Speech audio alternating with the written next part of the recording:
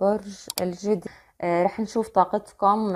ورق عام لمحة عاطفية تحذير ومسج من الحبيب ورح ناخد أوراكلز. فخلينا نشوف طاقتكم هذا الشهر كيف عاملة. إن شاء الله تكون إيجابية. طاقة حلوة. إن شاء الله تكون لبرج الجدي. عم بشوف طاقة اللي هو من بعد انتظار آه يعني طاقة انتظار راح تكون في أول الشهر آه ولكن بشوف بعد الانتظار في حصاد يعني في عندك طاقة آه طاقة كبيرة لحتى تتحمل آه، اللي هو الانتظار اللي قلنا عليه ولكن في عندك حصاد في نهاية الشهر أنا بشوفها لأنه هاي هاي الطاقة عم بتكون بطيئة شوي. فنحن فتحنا على أكتوبر فعم بشوف لنهاية الشهر لحتى تحصل آه، على الموضوع اللي كنت تحارب عشانه أو كنت تنتظره. يا جدي. شوف بشكل عام إذا. جدي عندك سفر حبيبي. في عندك سفر للناس اللي كانوا آه، زي ما قلنا ممكن يكون نفس الكرت اللي قلنا عنه الطاقة تبعتك طلعت إنه انتظار بعدين الحصول على ممكن تكون عم تنتظر لك فترة طويلة بسفر ولكن في هاي الفترة عم بتسافر في هاي آه، الفترة. عم بشوف الطاقات قبل ما أنسى عم بتكون هوائية ترابية بامتياز آه، مائية أكثر شيء عم بشوفك آه في شخص في شخص ممكن تكون طاقته مائية أو هوائية. هذا الشخص راح يقدم لك عرض وإنت تكون راح تكون في حيرة ما بينه وما بين أمر تاني. هذا الشخص أنا شايفة إنه أكتر عاطفي الموضوع من ما هو مهني أو كذا. آه هذا الشخص عن جد عم بيقدم لك من قلبه وعن جد آه هو إنسان بيستحق إنه ينعطى فرصة.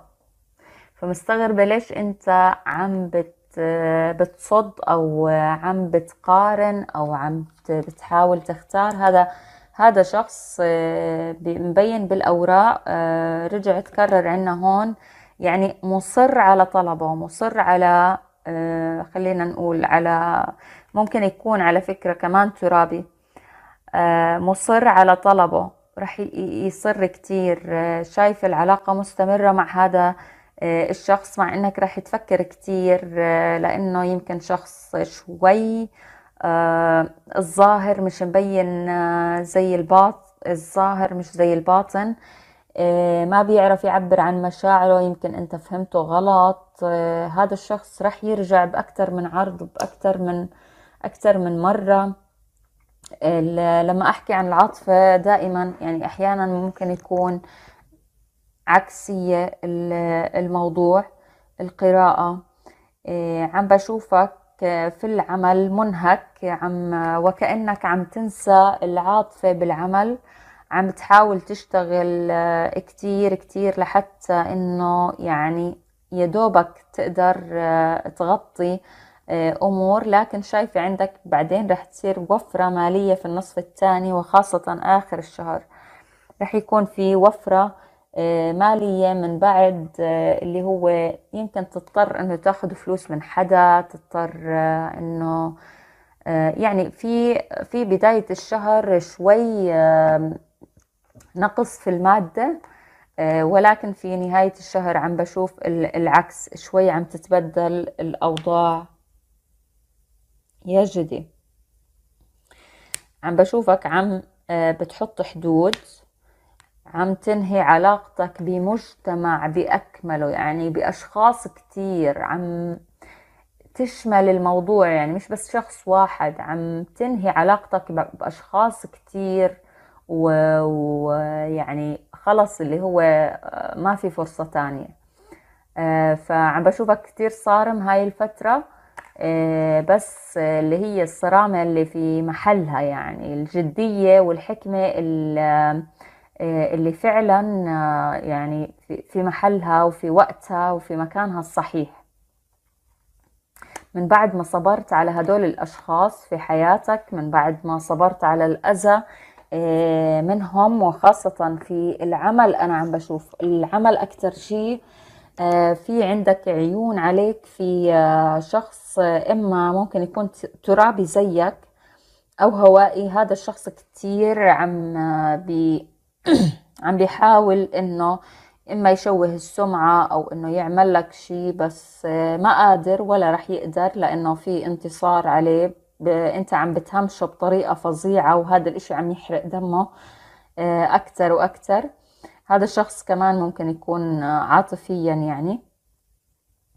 عم بيحاول إنه يجاكر فيك أو كذا ولكن أنت آه، عم بتهمش الموضوع عم بتقلل من شأنه آه، ولكن أنت جواتك في مشاعر كبيرة وهو جواته في مشاعر آه، كبيرة. شايفة في ممكن تكون عندك في آلام إرهاق من كتر العمل من كتر الحركة من كتر التفكير ممكن. آه، شايفة شوية إرهاق عندك تعب يمكن تتعب بس ليوم واحد أو لفترة قصيرة كتير. بعدين تسترجع قوتك وحيويتك زي ما بنعرفك الجدي نشيط جدا جدا ما شاء الله بطريقة حلوة. خلينا نشوف بشكل عام عن العاطفة.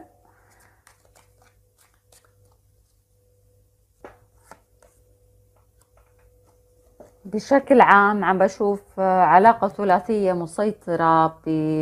ولكن عم عم تتهمش من الطرفين منك ومن الشريك شايفة في بعد عن العلاقة الثالثة آه، ولكن راح تكون هي يعني بارزة أكتر إشي في, في النصف الآخر أو في النصف الثاني من آه، أكتوبر بالنسبة للمتزوجين آه، ممكن يكون في خلينا نقول مشكلة شوي عابرة شوي في شوية شك شوية غيرة ولكن هذا الموضوع شوي رح يتصعد يمكن من طرفك أو من الطرف الآخر آه، ولكن بعديها رح تروق الأمور. يعني مش هالمشكلة الكبيرة لكن أنا بتوقع المشكلة إلها علاقة في علاقة ثلاثية. أنت في قرار معلقه أو الطرف الثاني معلقه آه، ما شايفة الأمور عم تصفى مية بالمية بهذا الشهر يمكن الشهر اللي بعده إن شاء الله يكون أحسن بس شايفة شوي في آه، أمور معلقة في انتظار في آه، بالنسبة للعاطفة آه، بالمستقبل ممكن يكون جدا في عائلة مع الشخص اللي بتحبه ولكن في هذا الشهر أنا عم بحكي عم بتكون في علاقة ثلاثية شوي عم بتخرب المواضيع والأمور آه، مع إنك أنت في كامل قوتك عم بتحاول إنه آه، توقف هذا الموضوع أو تنسحب منه آه، ولكن في النهاية أنت بتحب الطرف الثاني والطرف الثاني عم بحبك عم بشوف في حب صافي بيناتكم مع وجود أشخاص كتير حساد أو أشخاص عوائق ممكن تكون هاي في العلاقة ولكن الحب موجود. هذا أهم شيء يعني موجود بشكل فظيع. عشان هيك في في تعليق آه، للأمور قلت آه، نفس الشيء العلاقة الثالثة رجعت آه، بينت. إذا في آسفة لبرج الجدي يعني إنه قراءة مش كتير إيجابية طلعت. ولكن الحلو في الموضوع إنه مستقبلا رح يكون في بوادر خير رح يكون في خير على بالمادة على فكرة وبالعاطفة مع إنه ورق عاطفي. آه، في ممكن يكون آه، أشخاص معجبين فيك ولكن أنت ما عم تعطي آه، فرص.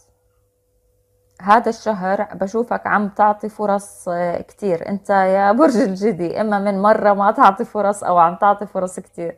فعم بشوفك عم تعطي ناس كتير أهمية وهم ما يعني ما جديين ما كتير عم بيكونوا جديين في الموضوع. احذر بس من الأشخاص الجداد في حياتك أو اللي بدك تدخلهم. يعني حتى لو كنت تعرفهم بدك تدخل معاهم في علاقة إذا كانوا هم هوائيين أو حتى ناريين. آه، شوي نحذر من هذا الموضوع. آه، في ادكشن رجع بين عندي إدمان معين على شيء معين. آه، عم بتحاول إنك تتركه ولكن يعني هذا الشهر كمان معلق هذا الموضوع. هذا بشكل عام. نرجع نعمل قراءات تفصيلية طبعا بس عم نعمل بشكل مختصر لحتى ما نطول عليكم. آه، خلينا نشوف التحذير. هاي الفترة لبرج الجدي شو عم بيكون؟ آه نفس الكارت اللي طلع. مش عارفة لأي برج. آه برضو توقيع على عقد. في عندك عقد زواج. إن شاء الله ما يكون طلاق يا رب. آه لأنه شايفة في قلب حب في حب الموضوع في يعني هذا الموضوع خير مش شر. فهو توقيع على أوراق إما تكون سفر أو زواج أو عمل ففي توقيع عقد. بس بقول لك احذر إنه أدرس الموضوع منيح قبل ما تاخذ القرار. كمان ممكن يكون عندك مساءلات قانونية. شغلات لازم تسكرها. أو شغلات طارئة قانونية ممكن تطلع لك هيك فتكون حذر شوية برج الجدي. تشوف مسج من الحبيب أو كلمة.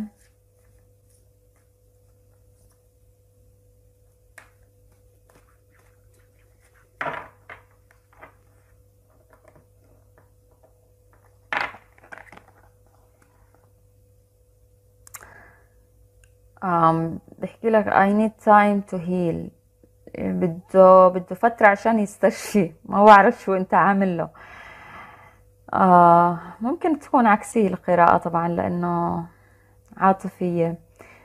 بس وكأنه انت عامل له شيء أو عم بيقول لك أنا بس بحاجة فترة لحتى أستشفي لحتى أنسى اللي صار لحتى يعمل healing فبس بقول لك إنه هاي فيها كمان إنه انتظار إنه انتظرني أو شيء آه لأنه لولا هيك ما ما يعني ما ببعث لك هاي ال message أو ما بيقول لك هاي آه ال message. خلينا نشوف oracle